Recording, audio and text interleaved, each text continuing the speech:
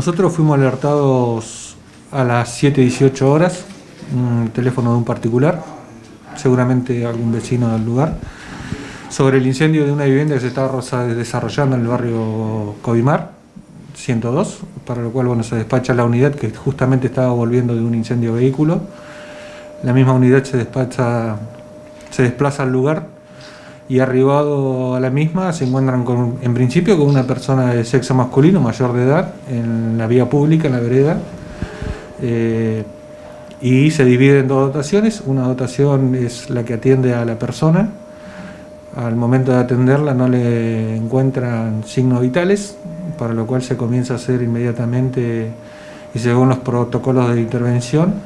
Eh, la protección del personal, la protección de, la víctima y se comienzan a realizar maniobras de RCP hasta el arribo de la ambulancia local y bueno, se, lo sube a la camilla y es trasladado inmediatamente al nosocomio local.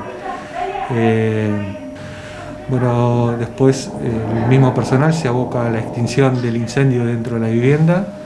Tuvieron un poco de, complejidad al momento de ingresar, dado que se encontraban con todos los muebles eh, desordenados. Eh, la segunda dotación, el segundo grupo de, personas, se ingresa también con la línea de extinción y empiezan a hacer en principio la, búsqueda y rescate de personas o animales que pudieran haber quedado dentro de la vivienda.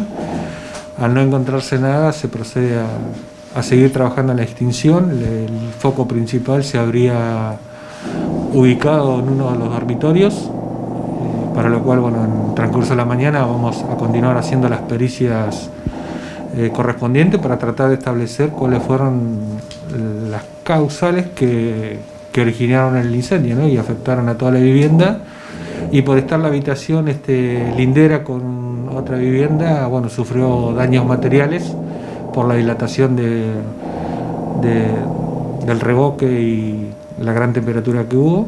Y bueno, y finalizar las tareas de extinción, se encontraron, este, se había encontrado dinero en, el ingreso a la habitación e inmediatamente se le dio intervención a policía de, de lo sucedido. ¿no?